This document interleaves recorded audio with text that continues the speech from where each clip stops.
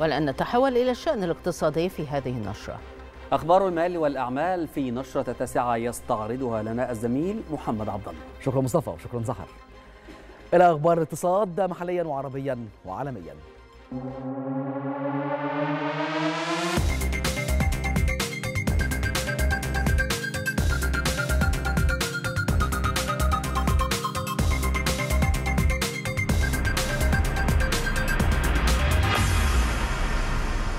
أهلا بكم.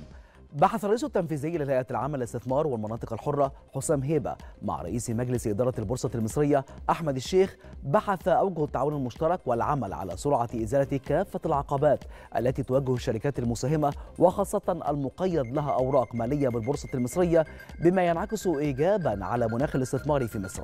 تناول اللقاء دراسة العديد من التوصيات والإجراءات التي من شأنها تيسير إنجاز الأعمال وفقا لتوقيتات زمنية محددة والعمل على تذليل كافة الصعوبات العملية والإجرائية التي تواجه الشركات واتفق الجانبان على تيسير الإجراءات وسرعة إنهاء إجراءات زيادة رؤوس الأموال وتعديلات النظم الأساسية للشركات وكذلك سرعة إنهاء طلبات نقل ملكية أسهم الشركات العاملة في قطاعي الصحة والدواء.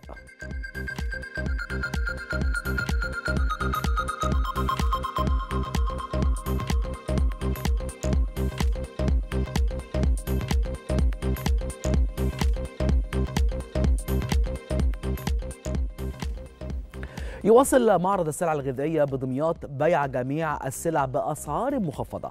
وأكد مدير الشؤون الاقتصادية في الغرفة التجارية بدمياط وليد الشناوي أن المعرض يضم 20 قسما على مساحة 2500 متر مربع ويشارك فيه 12 عارضا قاموا بتوفير جميع السلع والمواد الغذائية بأسعار مخفضة وذلك في إطار مبادرة خفض أسعار السلع الأساسية.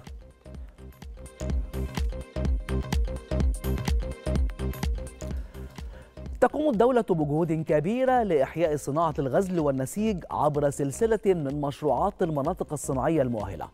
ويعد مجمع الصناعات النسيجية بالمحلة الكبرى أحد هذه الكيانات التي توفر آلاف فرص العمل الجديدة للشباب. تولي الدولة اهتماما كبيرا لتطوير صناعة الغزل والنسيج، لا سيما في المحلة الكبرى بمحافظة الغربية، والتي شهدت إنشاء مجمع الصناعات النسيجية بجوار شركة مصر للغزل والنسيج. ويستهدف المجمع تلبية الاحتياجات من مستلزمات الإنتاج والسلع الصناعية الوسيطة فضلا عن نقل المصانع الصغيرة من داخل الكتلة السكانية كما يضم عددا من الوحدات الصناعية المتنوعة. بنصنع الملابس الداخلية بأنواع كتير وأصناف كتير. بتبدأ من القطن المية في المية وننتهي بكل الدرجات الليكرا وبنصنع بقى المنتجات كتير زي النص كم والحمالة والشورت والأطقم الداخلية كاملة والأطقم الدفاية في الشتاء. آه الحمد لله بنستورد المستلزمات الخام بتاعتنا من بره مصر وبنعيد تشغيلها هنا في مصانعنا. وبعد كده نبدأ نفصل الملابس الداخلية بتاعتنا ونبدأ تاني نصدرها. وعبر العمال داخل الوحدة الصناعية عن سعادتهم بالعمل داخل مجمع الصناعات النسيجية بالمحلة بعد نقل المصنع من داخل الكتلة السكانية والتي كانت تسبب لهم الكثير من المشاكل منها الصعوبة في الوصول إلى العمل في الأوقات المحددة إلى جانب أن بيئة العمل كانت غير مناسبة. المواصلات متوفرة بجميع أنحاء البلاد اللي معانا في الشغل. كل بلد موفر لها العربيات بتاعتي بقفل بداية الشورت على المكنة الاوف بعد كده بيخش مراحل تانية يعني. الرش الحجر جنب كده بيخش كذا مرحلة. إحنا بنبدأ من هنا مرحلتنا من أول الغزل. بنعمله قماش هنا وبنصبغه وبنيجي نشتغل إن شاء الله في القص وبعدين بيخش مرحلة التشغيل. وبيبدا مثلا مرحلة بتبدأ مثلا شغال ملابس داخلية. بنشتغل في المنتج اللي هو الداخلي القطن آه سواء كان فانيلا أو سكوم أو حمالة أو شورت تمام؟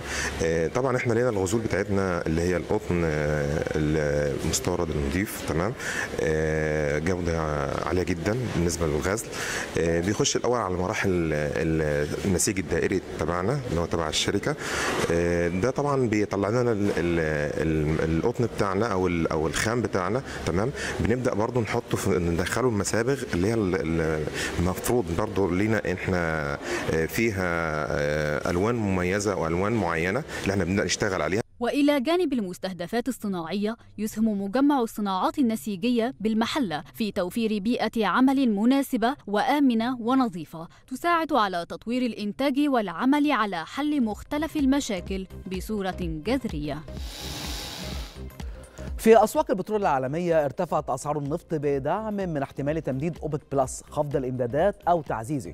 وارتفعت العقود الآجلة لخام برنت بنسبة 69 من المئة بالمئة لتصل إلى 80 دولارا و53 سنتا لكل برميل.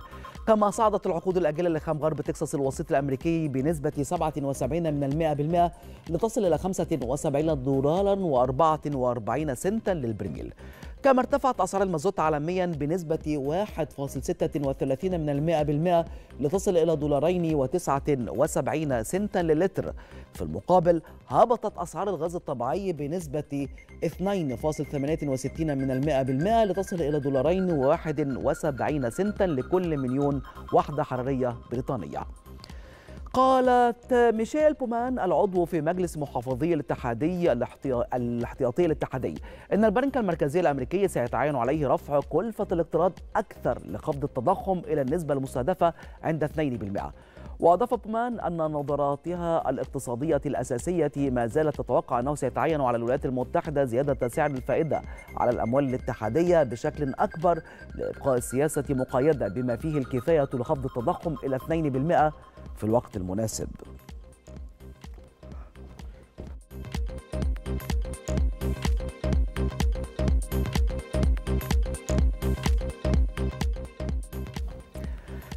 نهاية أخبار اقتصاد. أعود إلى سحر ومصطفى. شكرا لك محمد عبد الله